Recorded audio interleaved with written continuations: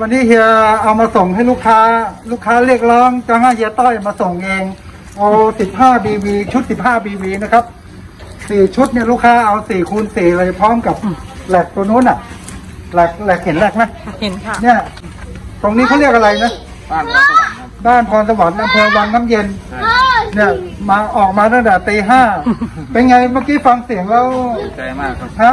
ดังๆเลยดังๆเลยถูกใจมากครับผมถูกใจเกินราคาขอบคุณนะครับสวัสดีครับ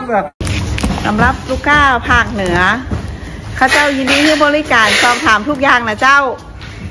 ช่วยอุดหนุนด้วยเนอะ